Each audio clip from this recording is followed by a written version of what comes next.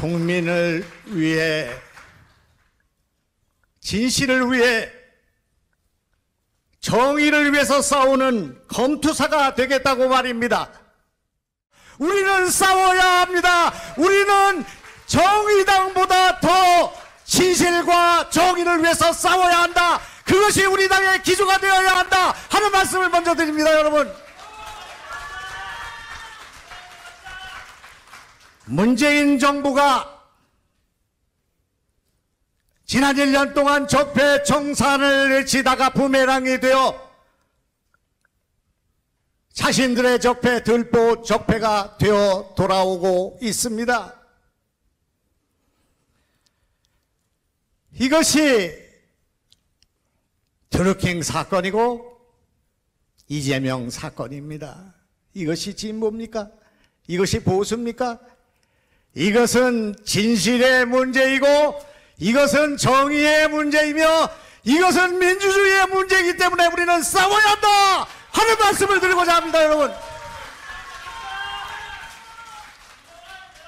드루킹 사건은 7개월 대선이 시작되기 7개월 전부터 여론조작에 참여하고 민주당의 경선에 개입했으며 그렇게 해서 선거 부정, 대선 부정의 사건이기 때문에 이것은 국정농단이다, 국기문란이다 하는 말씀에 동의하시면 박수 한번 쳐주시기 바랍니다.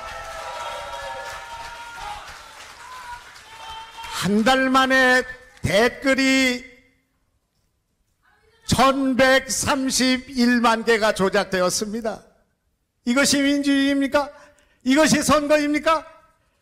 2012년 후보 단일화가 있던 시절 2017년 대선이 있던 4월 안철수 후보가 문재인 후보를 4.1% 압도하던 그날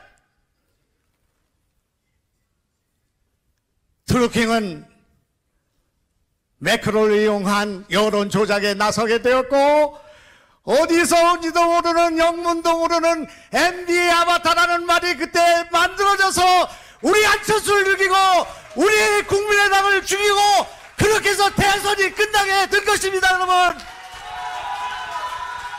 이것은 선거가 아닙니다. 선거가 무효다.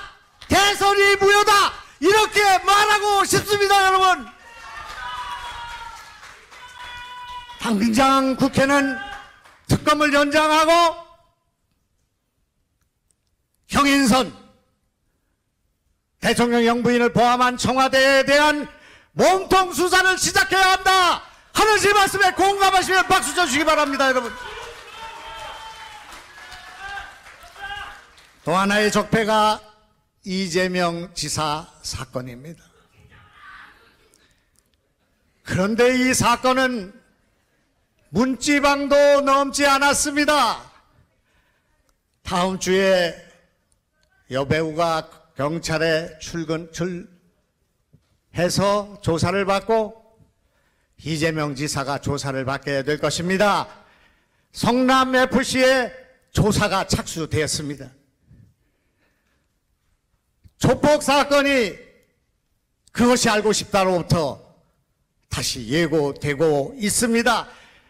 임 안민석 의원께서 이재명 사건은 도덕적 문제로서 민주당과 이 정권에는 계륵이다. 버리지도 못하고 가져가지도 못하고 4년 동안 내보내야 한다. 그냥 둬야 한다. 이 문제로 4년 동안 들끓게 될 것이다. 이렇게 말하고 있습니다. 이 문제를 방이 나서서 싸워야 합니다. 제가 당대표가 되면 통합당 대표가 되겠습니다. 국민의당이 따로 있고 미래당이 따로 있는 바른당이 따로 있는 이 당을 화학적 정치적으로 통합해야 한다 하는 말씀에 공감하시면 박수 한번 쳐주시기 바랍니다. 예, 시간 많이 초과했습니다. 그렇습니까? 예, 예. 아 이거 반도 못했는데 예, 내려오셔야. 됩니다. 네, 고맙습니다. 원내와 원회를 통합하겠습니다. 그리고 개혁 세력을 통합하겠습니다. 정말 나오기 어려운 선거에 나왔습니다. 여러분 당을 위해서 살신성인하겠습니다. 감사합니다.